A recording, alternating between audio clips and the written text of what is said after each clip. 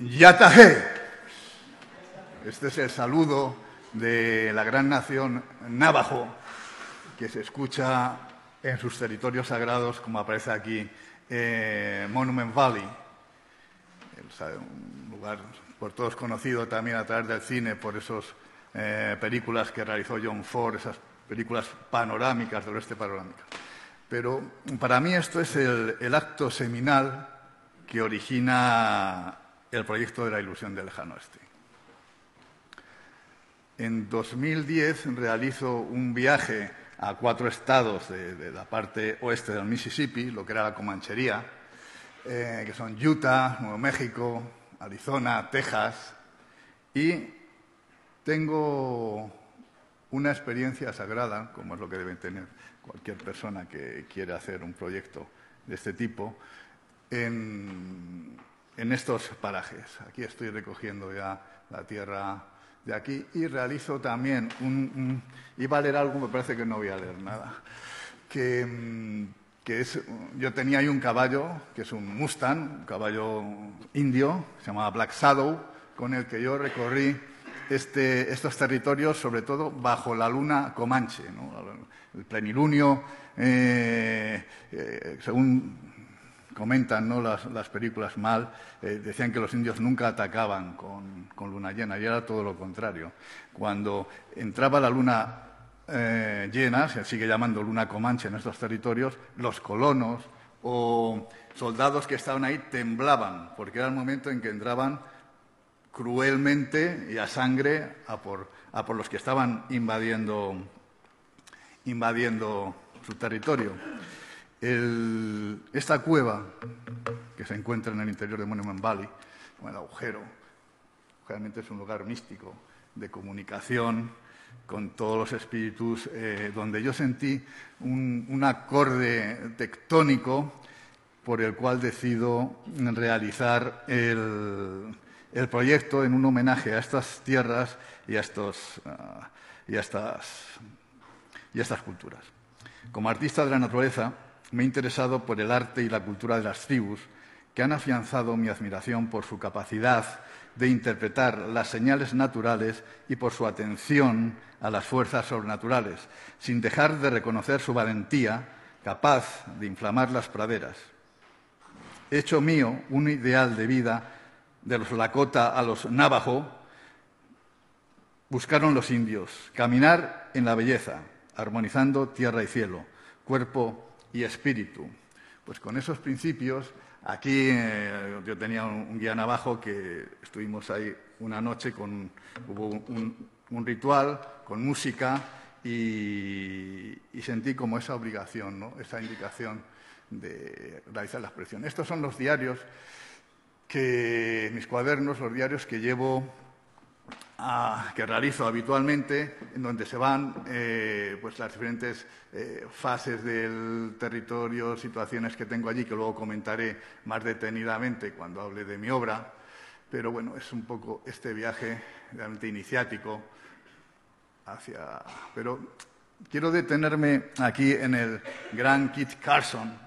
Este es uno de los frontiermen, los hombres de montaña, que son los primeros que hacen contactos con con, los indios. ¿no? Y esto tiene su museo aquí en, en, Taos, Nuevo México. Y este es un reconocimiento a estos hombres duros de montaña que fueron los primeros que se adentran en estos magníficos territorios y crean los primeros lazos con los indios. Luego Kit Carson se convierte también en uno de los mayores, lógicamente, asesinos de indios, porque luego todo esto se pasan al bando de los blancos, digamos, y empiezan a, a, destruirlos. ¿no? De hecho, Keith Carson tiene una...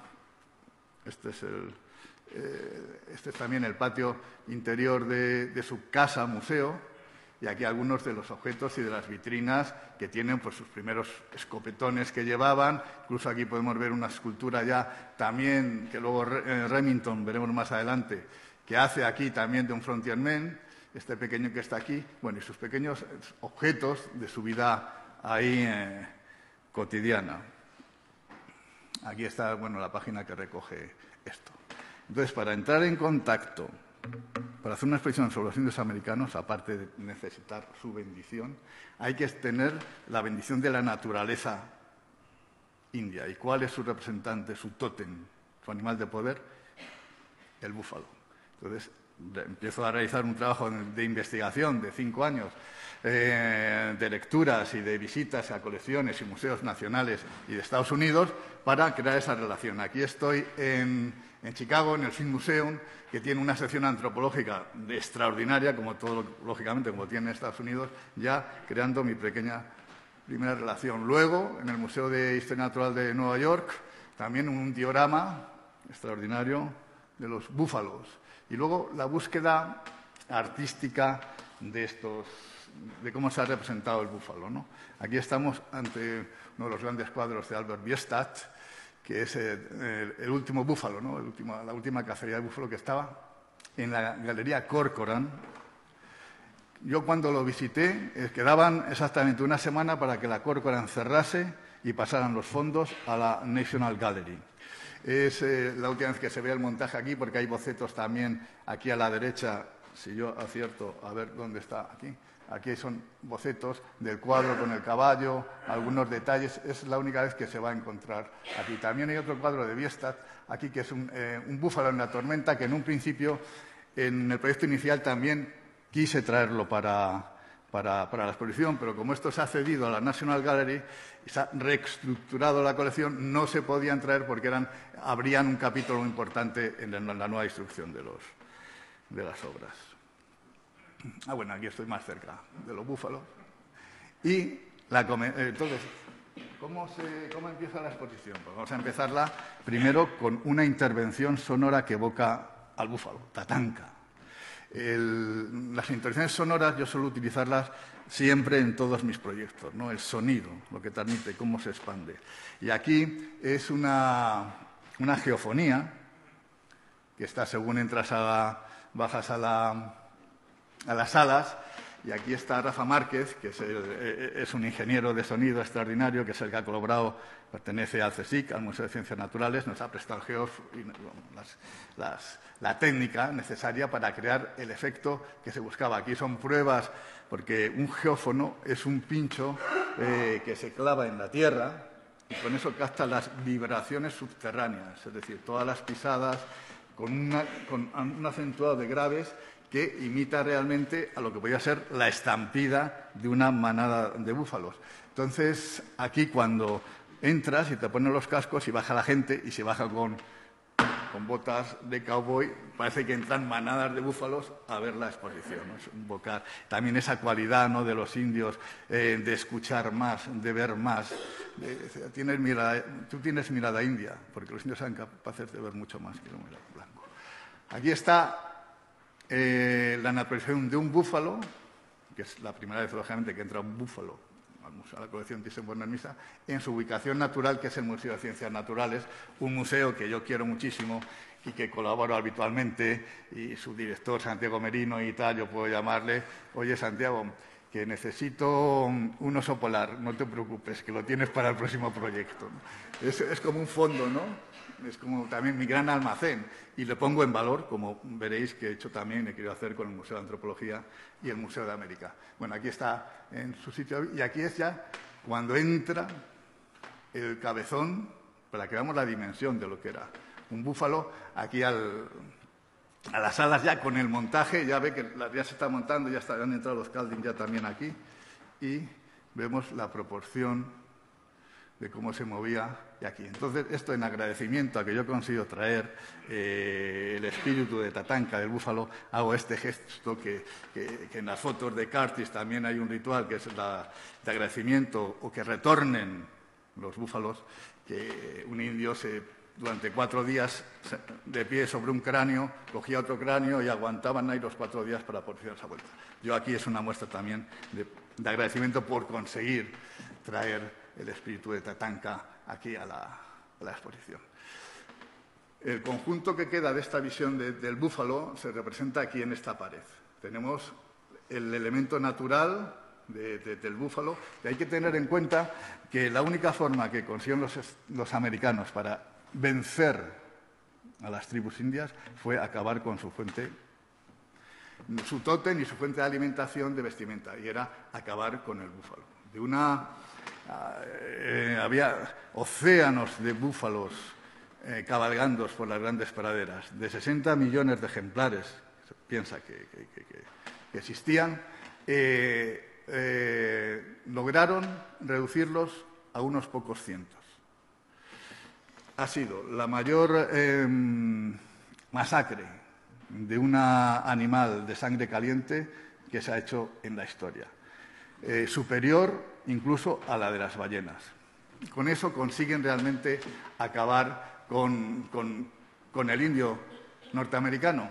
Y aquí en esta pared he montado una secuencia eh, en la que vemos el... Em, a ver este... Bueno, tenemos una secuencia también que son unos calding eh, donde vemos aquí la danza del búfalo, que dura cuatro días, eh, y unas escenas de caza en la nieve, protegiendo, y un búfalo moribundo que el propio Cadlin mata. Y esta piel, como hemos comentado, del Museo de América, restaurada para la, ocasión, enmarcada para la ocasión, y que simboliza las vísceras interiores del búfalo, todos sus órganos de poder. Eh, el único órgano que respetaban los indios por ser, por ser, estaba ahí no se veía muy bien, ahora sí, con el micrófono, que, respetaban y no tocaban era el corazón. El corazón del búfalo no se tocaba. Todo lo demás se utilizaba.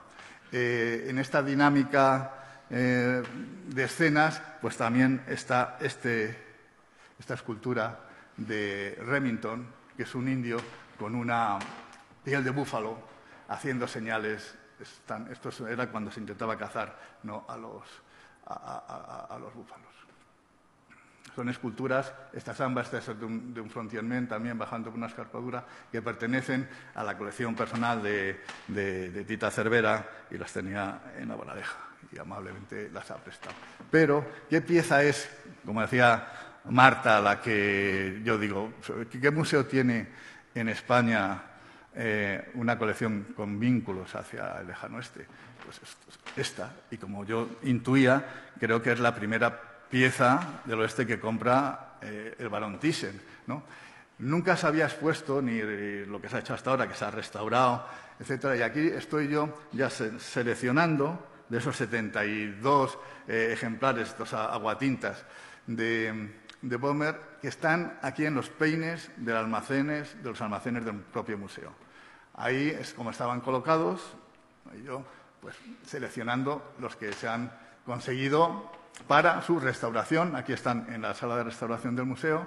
Eh, aquí el equipo, que Marta también está ahí. Un poco estamos viendo eh, que al final creo que eran 47, ¿no? Por ahí, Marta, los que, eran, los que se han puesto, o algo así, ¿no? Pero son auténticas joyas, porque yo, fíjate, como comisario, que llevo pues cinco años con el proyecto, sigo deslumbrándome con la capacidad de aventuras y de historias que contiene cada lámina.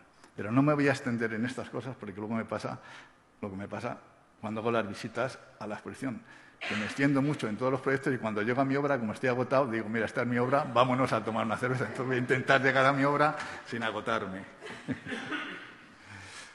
Pero siempre aquí se va a enseñar un poco lo que no se ve ¿no? de la exposición. Eh, el montaje aquí ya, eh, una vez restaurado los marcos, que son marcos de raíz, los originales que tenía el varón en, Villa Lugano, y bueno, un tratamiento al papel, esto es una limpieza realmente, un saneamiento importante y verlos todos juntos como nunca se habían visto. para mí también es un honor el juntar mi alma como artista a tres artistas que yo admiro por su espíritu aventurero y que han dedicado su vida a una sola obra. Estos son. Eh, aquí tenemos la Indian Gallery, una de las gestas artísticas de la historia, sin duda, que es eh, la Indian Gallery de Oscar en un montaje eh, de principios de siglo. Encima tenemos ahí con un, con un Thomas, un, un Thomas Moran de Gran Cañón, ¿no? Pues nosotros, por fin, hemos conseguido, nunca se había traído aquí, eh, traer una selección de un artista para mí muy admirado, que es George Calding, que dedicó toda su vida a recoger eh, lo que es eh, un gabinete de maravillas dedicado a, los indios. Estos son los primeros Calding que yo estaba, estoy en Washington, en la National Gallery, que veo. Aquí en las escaleras también más Calding, porque claro, él pintó 526 cuadros con rituales y escenas de rituales, escenas y grandes eh, guerreros y jefes, y grandes jefes, ¿no? como decía Calding, los grandes dignatarios de la naturaleza.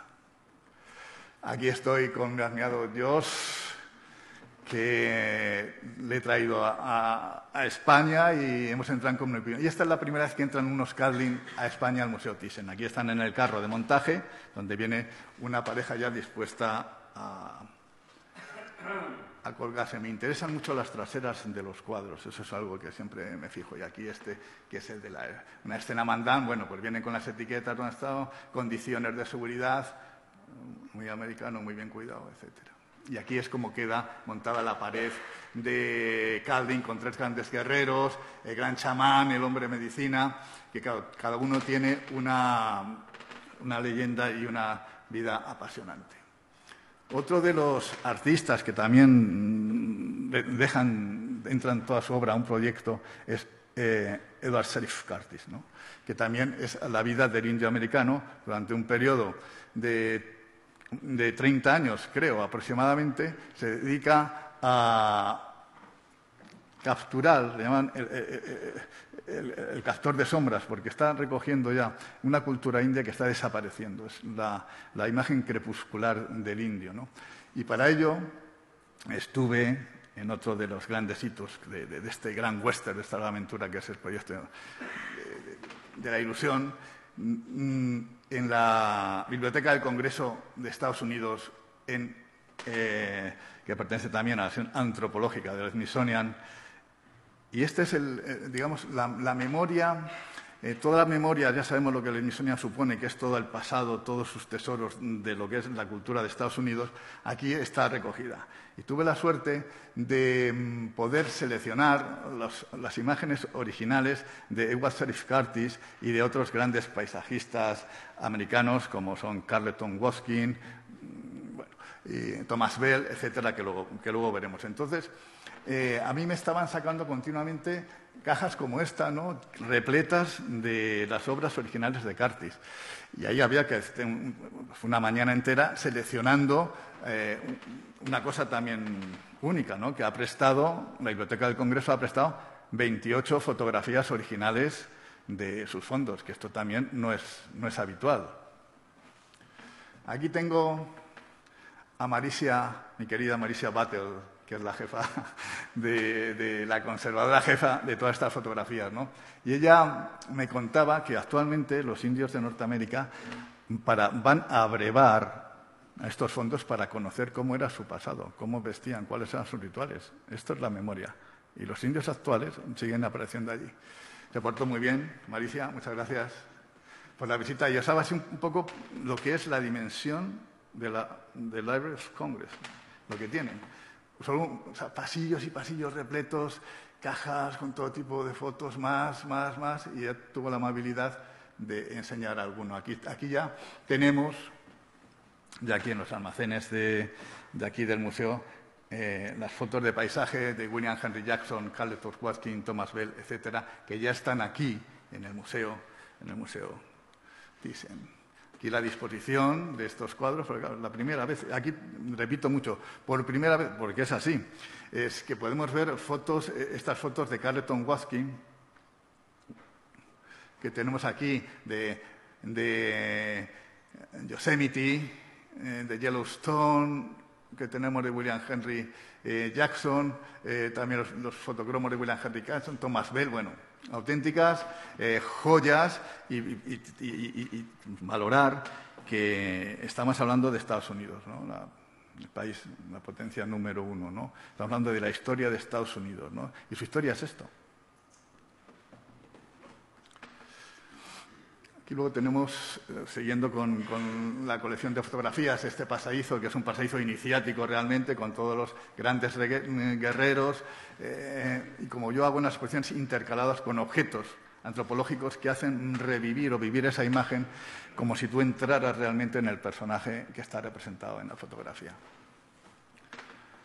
Aquí seguimos viendo con esta. Y una, para la importancia que tiene en esta obra, que le da, lógicamente, su país eh, creador, que es Estados Unidos. Cuando Obama es nombrado presidente, por primera vez presidente de, Estados Unidos, eh, siempre se hace una comida de presentación en el Capitolio.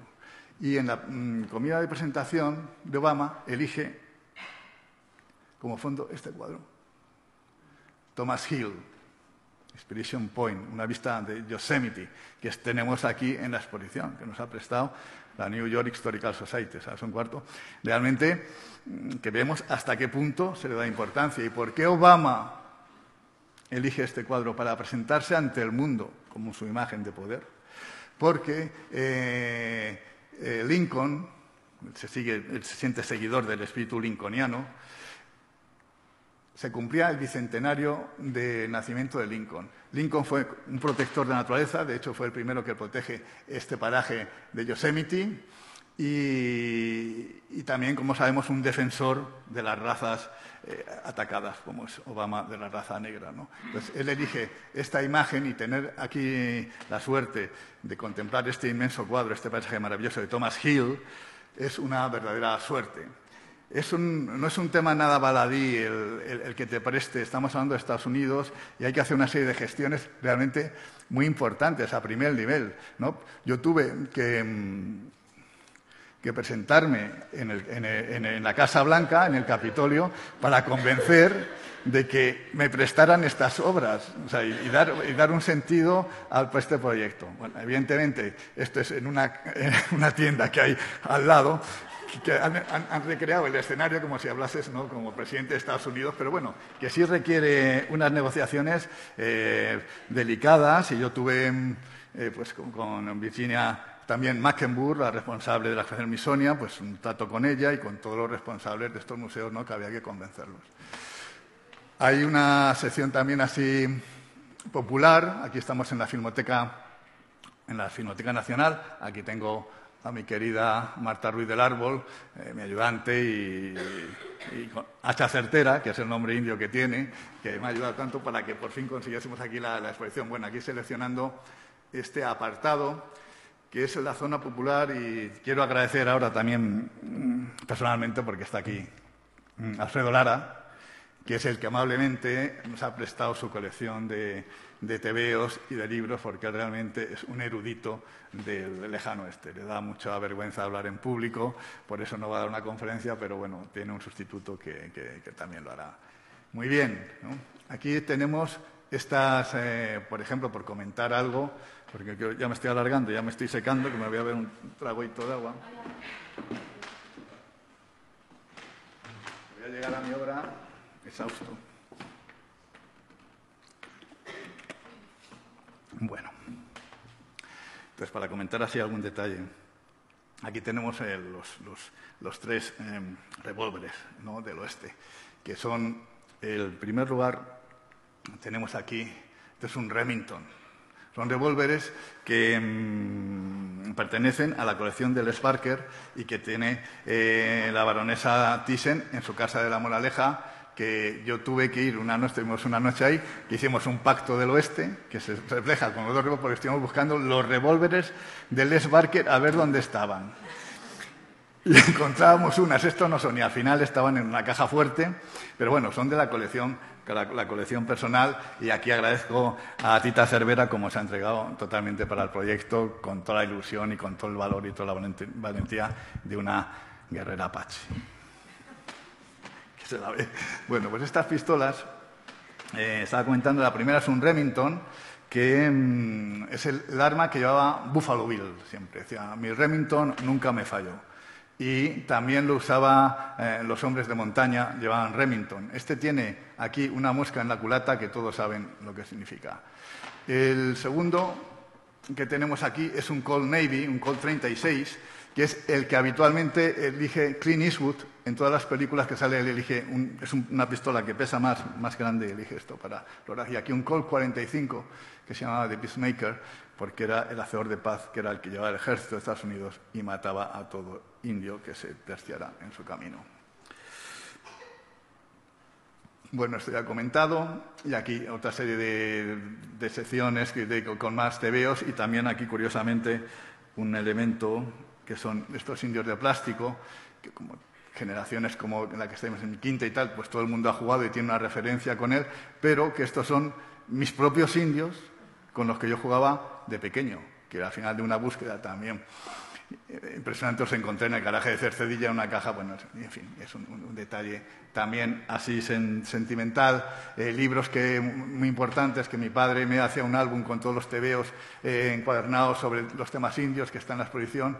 Y este eh, es un otro libro de la Fargue que se llama la, las maravillas de los indios americanos, que yo tenía de jovencito. Y cuando este libro es realmente el contenido de mi exposición, aparecen Calding, Curtis, todos los objetos antropológicos. Ya nunca ha estado mejor defendida mi, obra, mis libros caja, que son estos, que con estos tres grandes pistolones ya que nos han pertenecido. Pero ahora llega el momento ya de un poco de, hablar de mi obra. Mi obra, pues lógicamente es un artista de la naturaleza y eh, mi proyecto principal es, y vital, en el que llevo dedicado cerca de 30 años, es la Biblioteca del Bosque.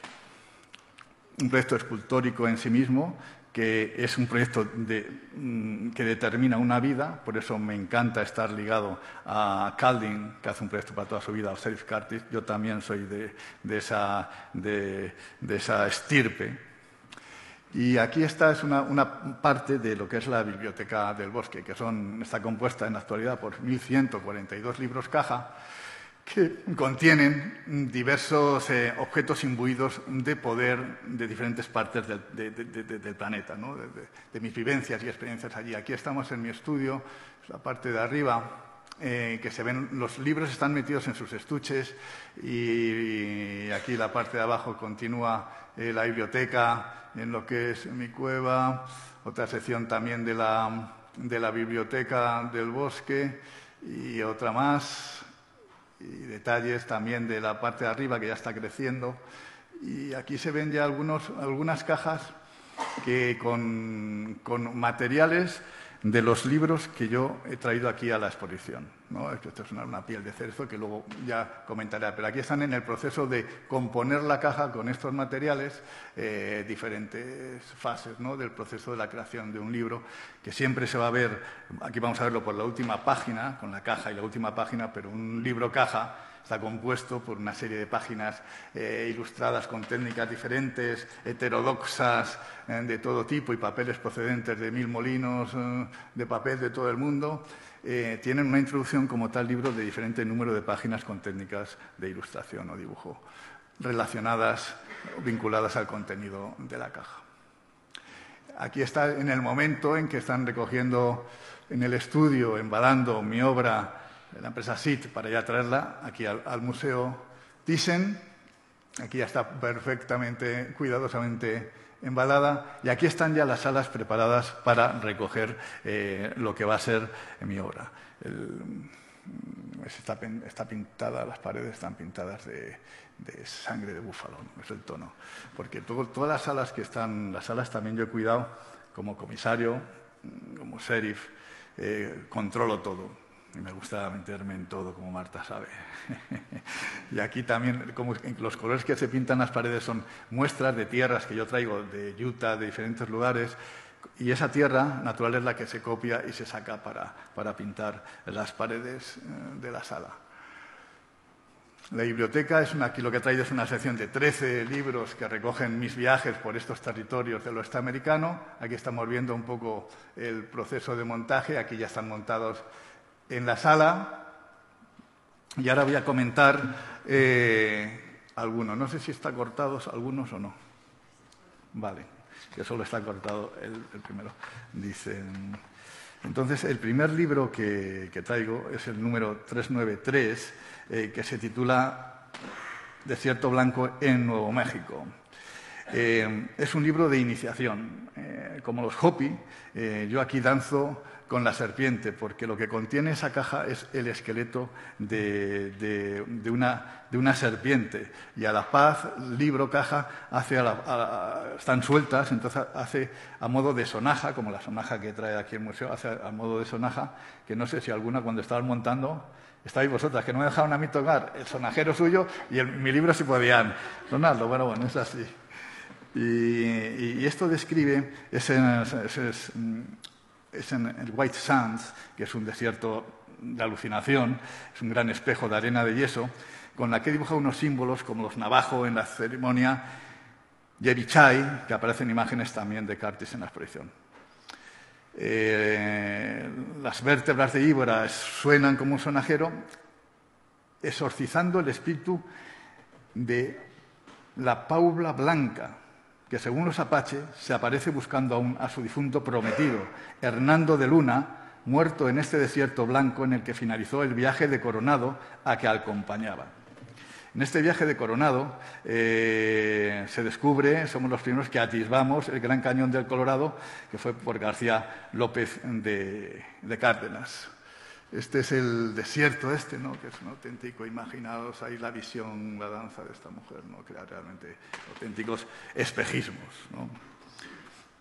Luego, este libro no está dentro de la exposición, pero eh, lo he traído porque forma parte, he hecho una selección de 13, pero tengo lógicamente más obra vinculada a estos territorios. Se titula Cántico en Telluride II, es de 1992 y tiene el número 507.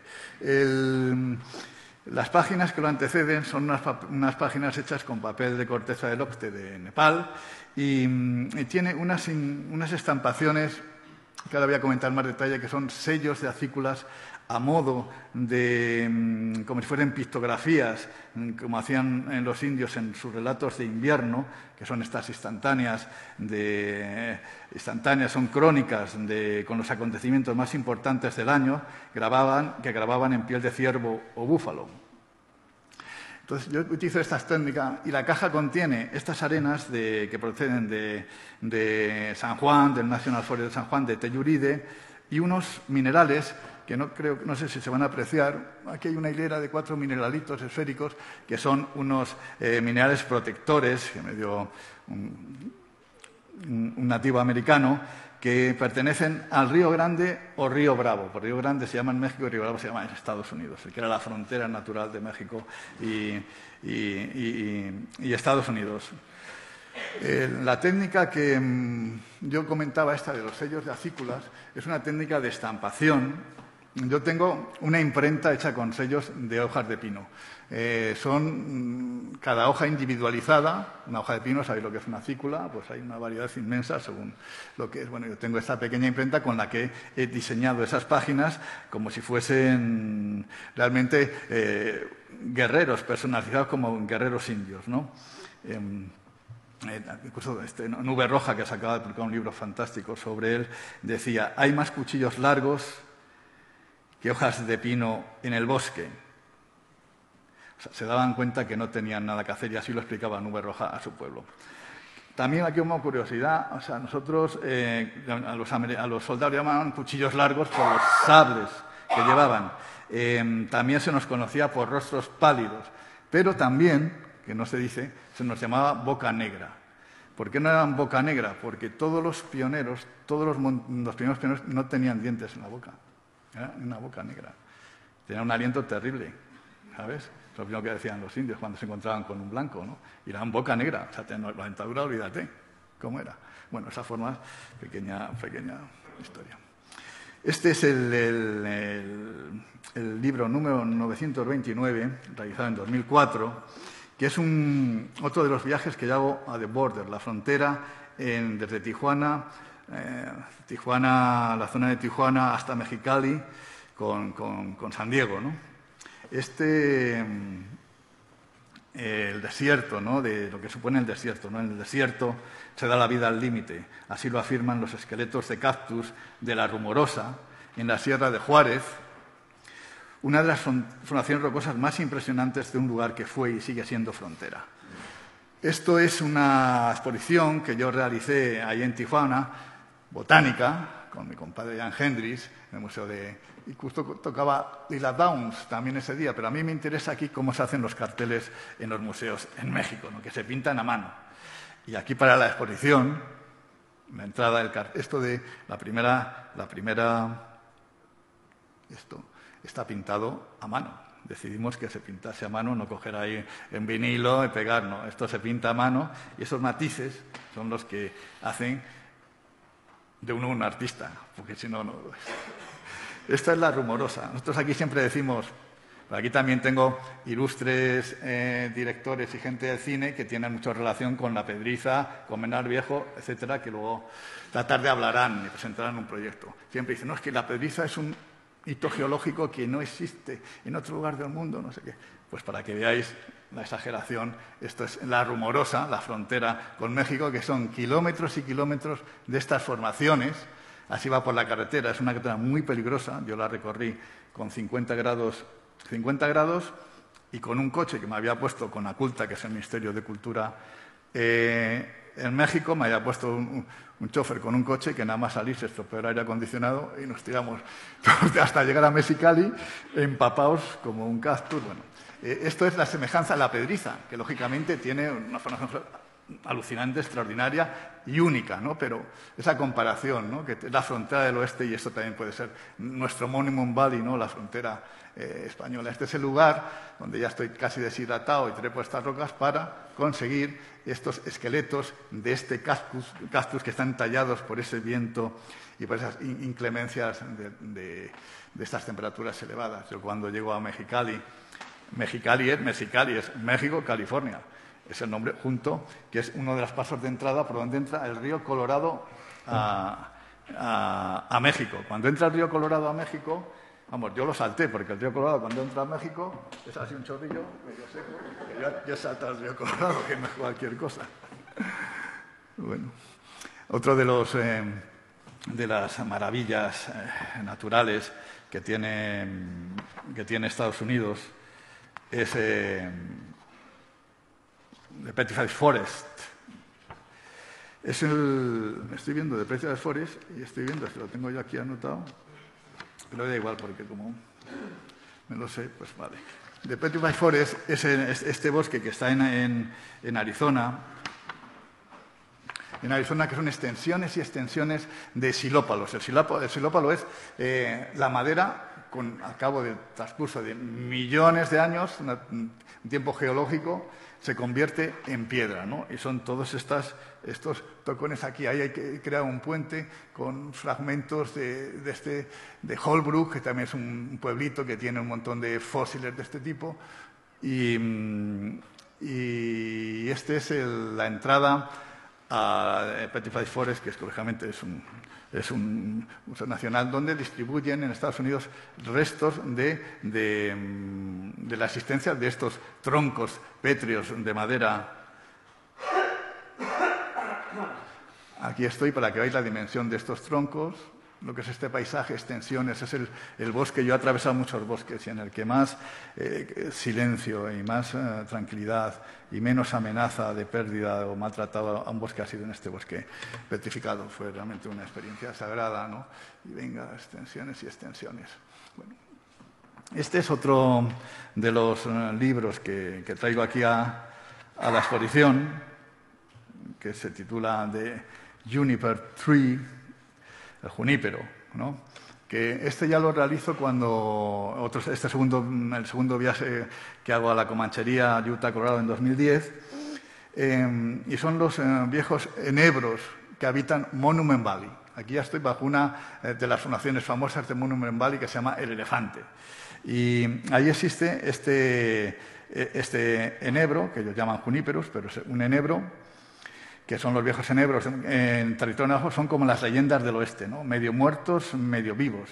Eh, equipar a la antigüedad geológica del valle, cuya tierra ensangrentada recogía aquella noche, con la admirable, admirable, capacidad de supervivencia botánica de los enebros. A los pies de la roca del elefante subí a un juniperus y el crujido de las ramas secas se extendió a través del silencio del valle, por el que he hecho volar las semillas volantes, elemento alado que trae el viento desde el monte sagrado de Taos, de Taos. Son estas semillas mm, voladoras eh, que, aparecen aquí.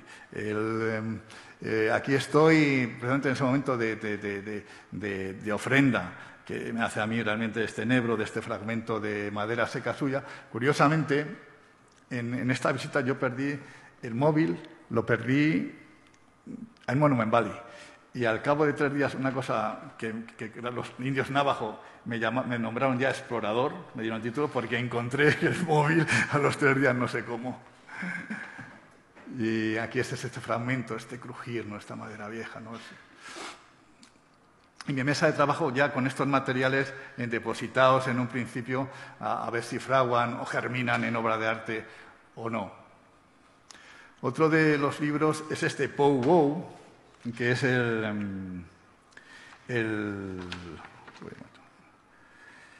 el, libro que aquí está, en 1995, recientemente que es uno, uno de los, uh, lo que es un, un powwow. Un powwow es la reunión de las naciones indígenas para, cada año se reúnen y realmente es recuperar sus canciones, hacer el tambor más grande, repercutir.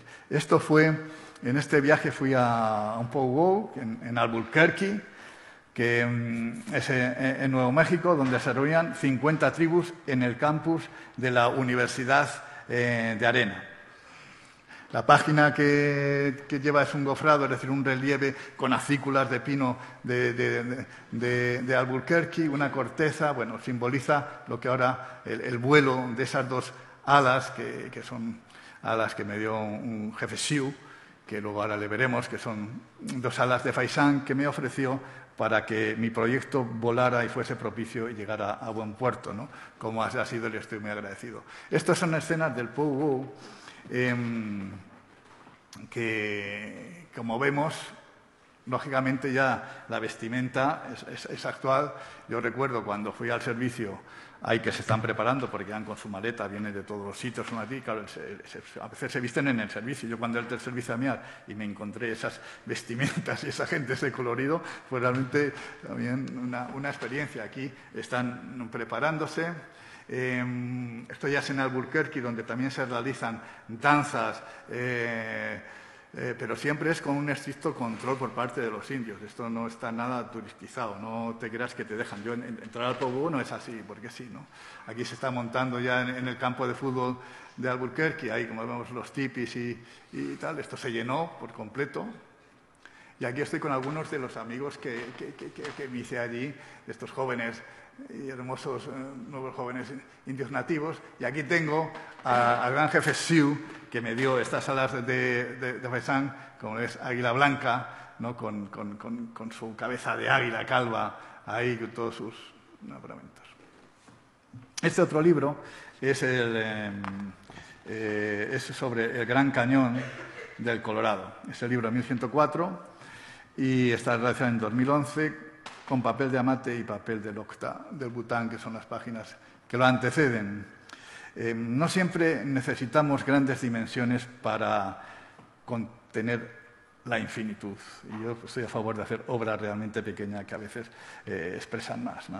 Eh, toda la larga y portentosa erosión del Gran Cañón, tantas veces laureada por los artistas, está presente en esta pequeña piedra recogida en el cauce del río Colorado, y también tenemos aquí una pepita de oro con un fondo de resina y la arena procede de Monument Valley. Eh, eh, una piedra de oro que yo encontré. Nunca hubo oro, nunca hubo oro allí, pero la he depositado sobre la piedra en recuerdo de aquella fiebre del oro que toma hoy nuevas guisas, porque hoy ya se encuentran la amenaza ahora del Gran Cañón es los centenares de concesiones para extraer uranio que se ha descubierto en el perímetro del Parque Nacional, lo que es motivo, lógicamente, de una gran preocupación para los conservacionistas.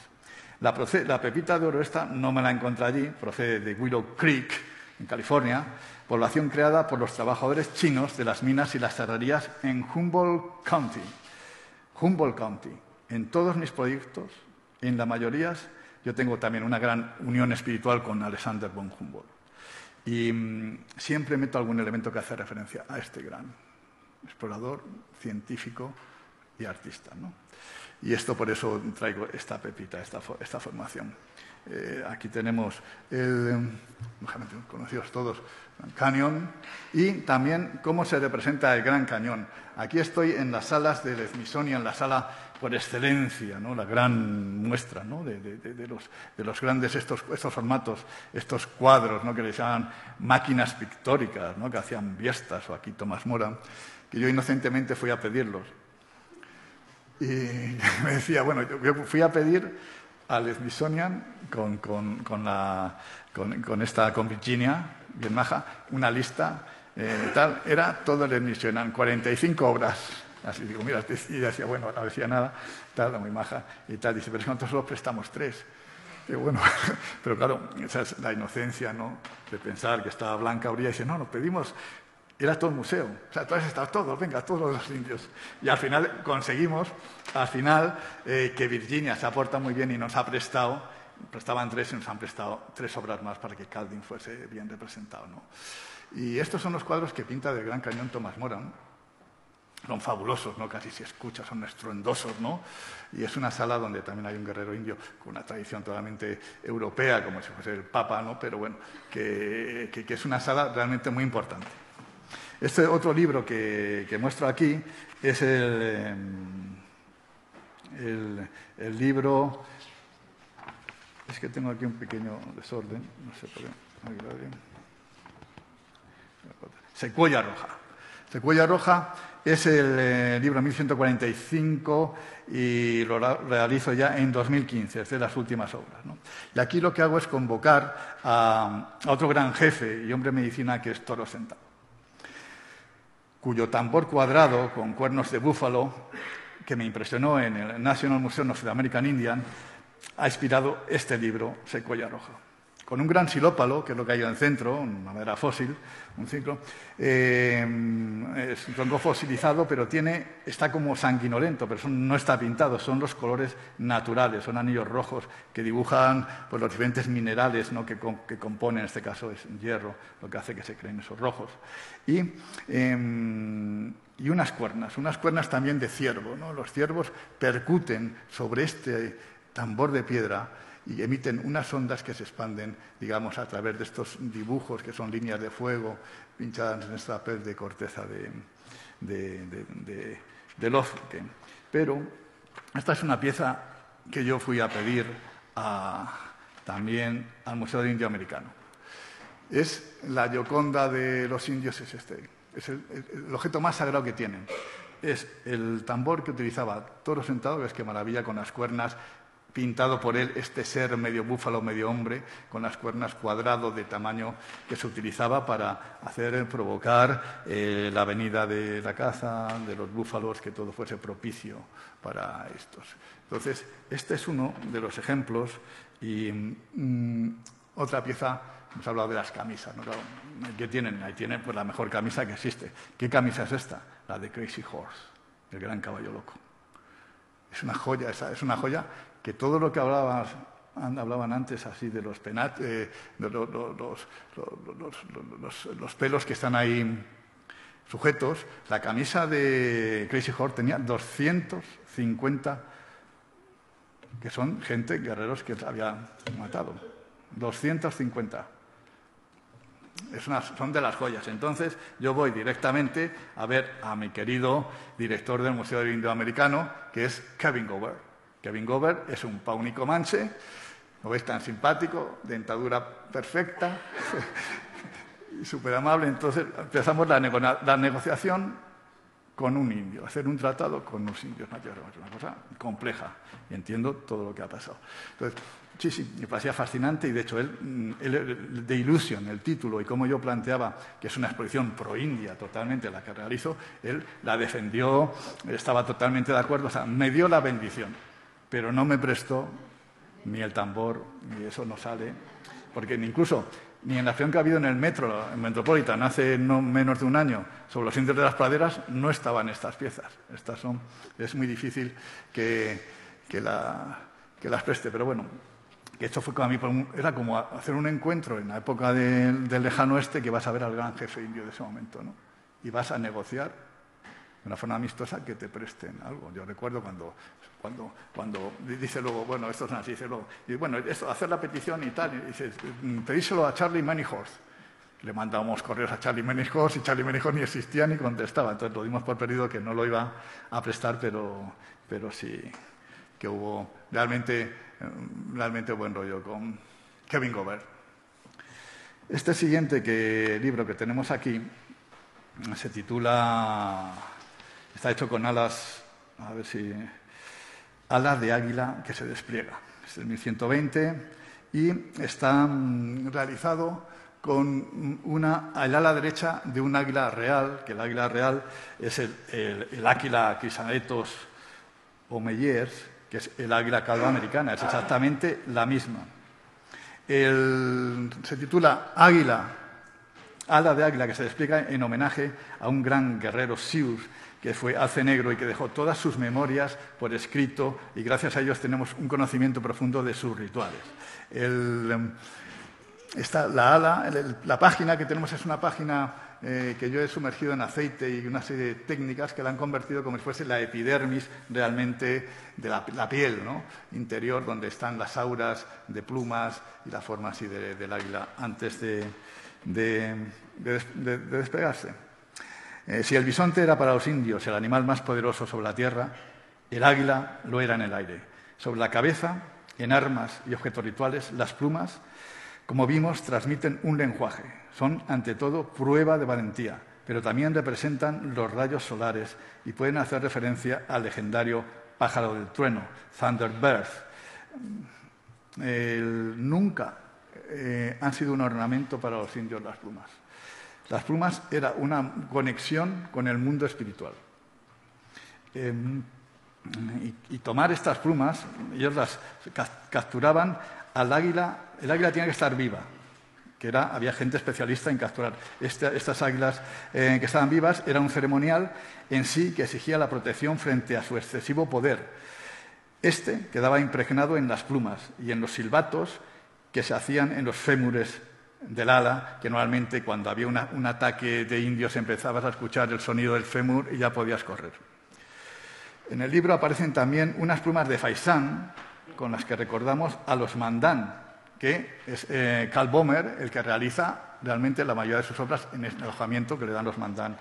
Eh, es muy interesante el estudio que tenía ahí, el frío que pasó, se entra bajo, cero, se le congelaban las pinturas, pero eh, en el libro también aparecen unas plumas de Faisán por motivo este, ya que, mm, según Kathleen, el pueblo se llamaban a sí mismo el pueblo de los faisanes. Aquí también tenemos estos materiales, proceden, Faisan este en concreto, procede del Museo de Ciencias Naturales. Tenemos aquí un representante que me ha ayudado mucho, pero es así como un medio secreto, ¿no? Porque me están grabando, o sea que no lo, no lo, voy a contar. Más o menos, ¿no? Bueno, pero la importancia, estos faisanes pertenecieron a Carlos III. Es un faisán dorada. Faisán, Carlos III ya sabemos su amor por los animales, que convivían con él, dormía con pájaros, de todo. Y este pertenece, eso fue, es, una, pieza que se estropeó, que el museo ya no quería, y yo pedí, pues también. total, que, que, no me quiero tampoco así pasar, pero bueno, es que Carlos III tuvo una. Voy a contar una anécdota muy importante de Carlos III, básica para la conquista del oeste. Eh, eh, George Washington encarga a Carlos III que le mande dos burros. Y Carlos III coge dos burros zamoranos los mejores. Eh, ¿Por qué esto?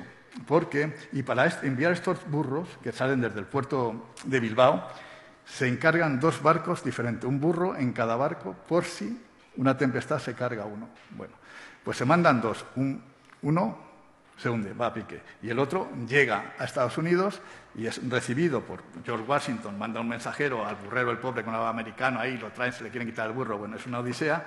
Y estos burros los mezclan con las yeguas americanas y crean los mulos. Los mulos que tiran todas las carrozas que entran en los colonos son, descienden de los burros de Zamora, de los burros españoles.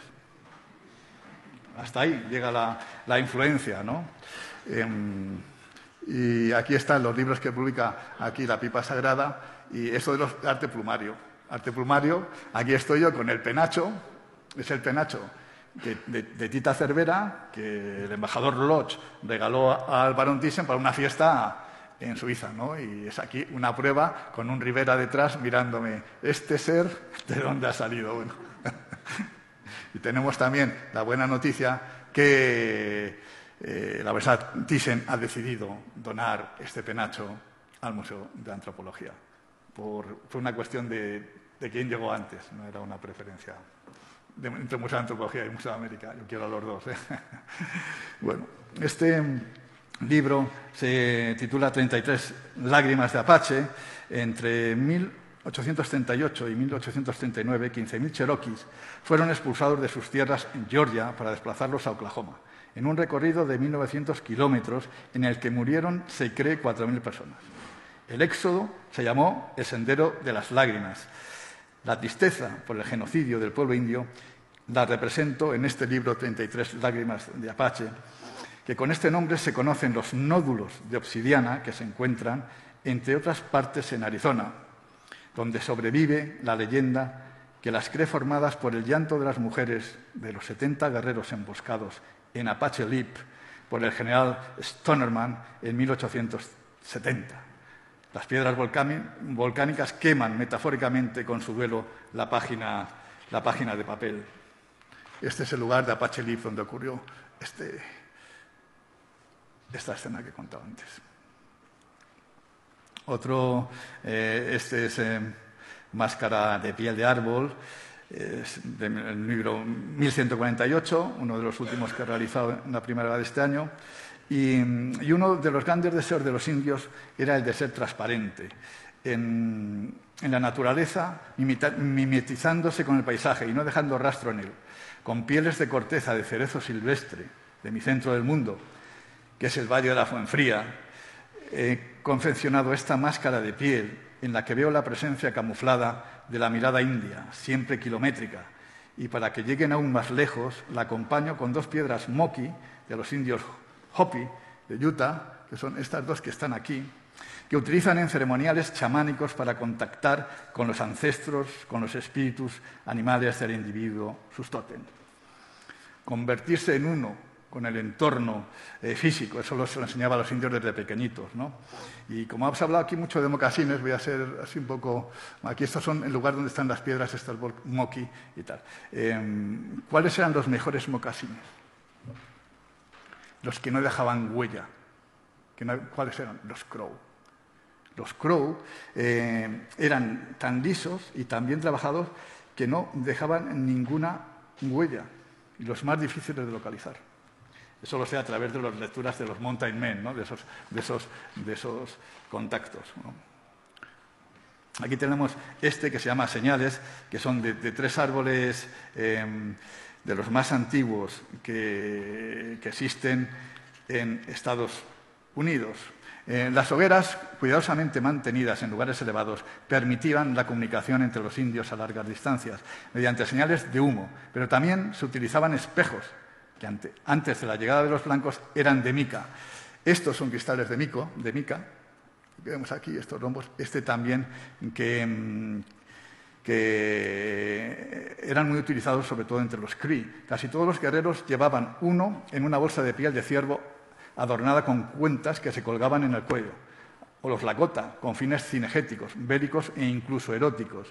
Eh, los destellos de las placas de mica de señales codifican el diálogo entre dos de los ejemplares arbóreos más venerables de Estados Unidos. Uno, el de las altas secuoyas de Giant Forest, el bosque de los gigantes, que es esta corteza que aparece aquí, y el segundo, que es el árbol más antiguo de Estados Unidos, del planeta podría ser, porque hay dudo y otros que podrían también equipararse, que es un Pinus aristata, esta es una rodajita de ese Pinus aristata, eh, de 5.000 años que vive en las estribaciones de las White Mountains, en California. Son señales que nos están enviando y aparte está diluido en esa resina, que es un fondo de resina de pinos, hay una gota de mm, resina de, mesa verde. Este es un bosque que yo atravesé también, pero cuando lo atravesé estaba totalmente quemado y una gota de esa resina está en el libro, que es el libro que nos envían las señales arbóreas desde Estados Unidos. Este es el Pinus aristata, uno que digo más antiguo, y este es uno de los ejemplares del bosque de los gigantes. Ahora estamos ante el libro número, eh, si le tengo aquí, vamos a ver que le tengo aquí, si no lo vamos a ver, 33 lágrimas de Rache Secoya Roja. Bueno, este se llama, ese es un, libro, es un albaricoquero en, los, en, en Bishop Lodge, que esto está en, Taos, y es un, árbol muy antiguo que está seco. ¿no? nosotros somos los primeros que llevamos los, los, frutales a Estados Unidos también, los albaricoqueros. Esto está llevado por los españoles. Y aquí es una visión nocturna que está hecha con un fondo de bueno, aquí se ven también las escenas de este albaricoquero, seco totalmente, con todo ese poder. Y yo estoy con este ojo, uy, perdón, ahí me he ido, con el ojo de ese fragmento, ese ojo que aparece ahí, que se cayó, y lo recogí para hacer el, libro. El fondo es un fondo de grafito que refleja ese mundo estrellado. Es un grafito que me regaló a mí Francisco Toledo, indio zapoteca y gran artista. Y curiosamente, este, este, se utiliza este grafito para cubrir las naves espaciales, para, para resistir esas temperaturas tan altas, se utiliza para eso.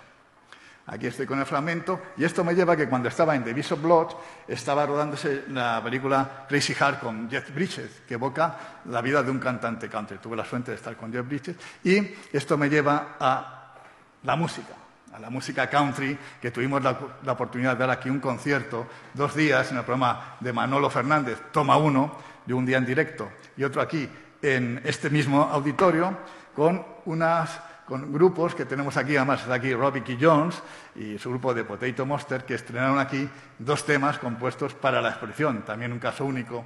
Y tenemos también a Nat Simon, que ella también compuso dos temas, uno dedicado, a, se están grabando, uno dedicado a Toro Sentado y otro dedicado a mí, que se titula Into the Boots. Gran honor y gran alegría que una cantante country en vida te dedique en un tema. ¿no? Estas son pues, actividades. Luego ya quiero acelerar un poco, que es la intervención que hago de los animales del alma, que es una selección de diez cráneos que tienen una simbología para los... Estos pertenecen al Museo de Ciencias Naturales y aquí estoy buscando cráneos sagrados en, sus almacenes, que también son fascinantes, abriendo cajas con lobos. Este es el de un búho, ahí ves el hueco que tiene en el ojo. Eh, aquí tapados también los cráneos de, lobo para encontrarlos. Aquí ya en la mesa, para la hora de montar esta secuencia, que son 13, 13 que tienen diferentes... Eh, Pero eh, quiero terminar ya la obra como, con mi último libro, el que aparece que cierra la exposición, que se llama Alas Pluma. Eh, mi animal simbólico es el cuervo, por eso está el cuervo, es el que me llevó a mí a, tener una visión, tres cuervos, me da un sitio que, por la cual inicié mi proyecto de la Biblioteca del Bosque. Y aquí, al final de la, de la exposición, aparece este libro con estas plumas de cuervo negro que suponen un velo, es una cortina que si fuésemos capaces de traspasarla, entraríamos al mundo de los espíritus y comunicaríamos con el gran Manitou. Muchas gracias.